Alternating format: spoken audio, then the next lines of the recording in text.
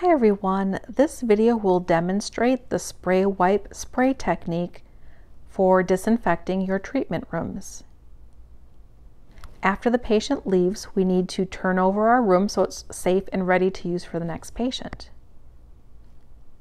Any items that did not have barriers on them and may have come in contact either through touch, we've touched it with our contaminated gloves, or it may have been contaminated by droplet or aerosol particles, we need to disinfect with an intermediate level disinfectant. This process is always a two-step process. We do a cleaning step and then we do the disinfection step. For the spray wipe spray technique that I'll demonstrate, I'm using Birex and this particular type of Birex is a phenol. For any cleaning procedure, make sure to wear all of your PPE, including utility gloves. Any surfaces that were not covered by a barrier need to be sprayed and wiped. What I like to do is I like to spray all of those surfaces that I plan on disinfecting.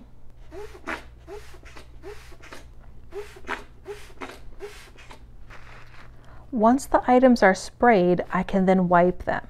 This is the cleaning process.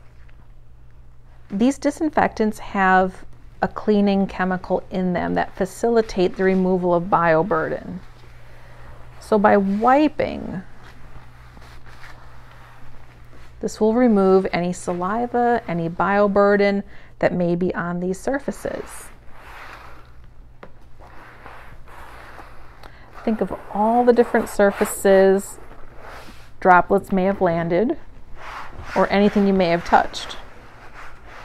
If you touched the drawers here, you would want to spray and wipe those down. If you did not touch those, you would not have to wipe those down unless you noticed any spatter land on them. Most likely you've touched your chair adjustments, so be sure to wipe those to clean and remove any saliva or bioburden. Continue this process on all the surfaces that did not have a barrier on them. For the dental unit, we had barriers on the air water syringes, but we didn't have barriers on the hand pieces. They get sterilized after every patient. So what I like to do is I like to spray and wipe the hoses as well as the holsters for the hoses.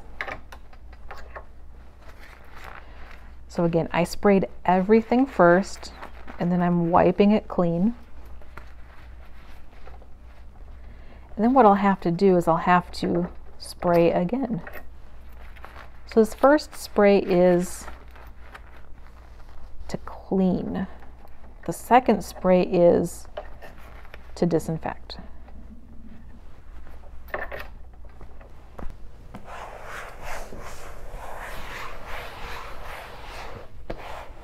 Continue to all the surfaces that you need to wipe clean. Again, don't forget the paddles on these chairs. Throw out your paper towel that we used to clean the surfaces and I'm going to pick up my spray bottle and spray all of these surfaces again. As you spray your second spray, make sure you have a nice fine mist on all of these surfaces.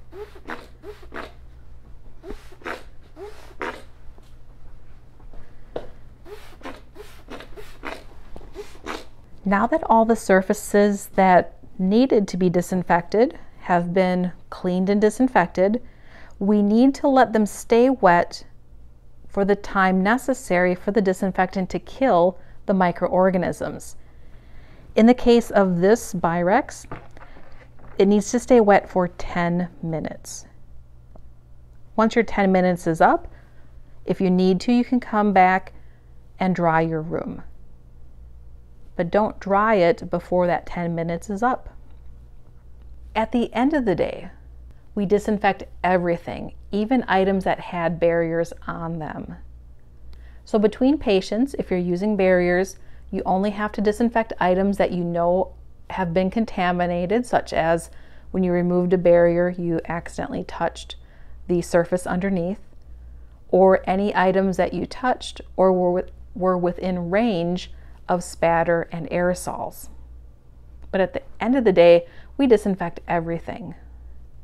When you select your intermediate level disinfectant, make sure it is registered with the EPA. And all of your intermediate level disinfectants have a tuberculocidal claim. Thanks for watching. I hope this has been helpful.